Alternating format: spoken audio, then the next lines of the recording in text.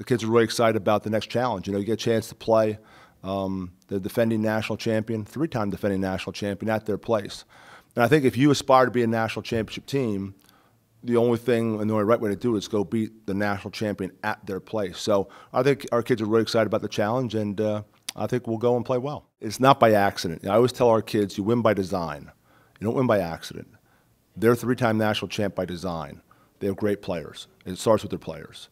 Um, big and physical on the offensive line, uh, outstanding tailback, uh, quarterback who's really impressive, um, some good young receivers defensively, so sound.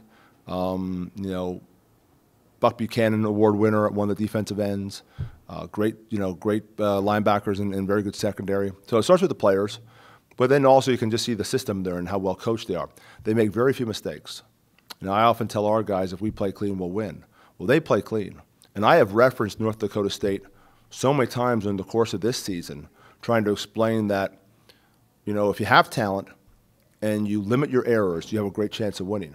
And, um, you know, we, we think we're one of the best, one of the premier programs in the country. You know, last four years we've been in the playoffs, um, Final Four three times. Um, they played for national championship here in 11 12. Well, they are the premier team in the in the country. You know, three straight national championships. So it's it's a great challenge to have two of the best programs in the country play each other, and uh, you know we're excited for that challenge of playing in the dome, and excited about the challenge of uh, trying to uh, stop them from uh, going and win their fourth national championship. They all trust each other. It's obvious that you know for them to have the success they've had offensively and defensively, there's a lot of trust going on. Uh, and it, it's a really impressive group. They lost a lot of seniors off last year's team. And I think a lot of people are surprised, you know, where they are. I'm, I'm not because uh, they do a great job developing their players, and um, you know, there's a system in place that works.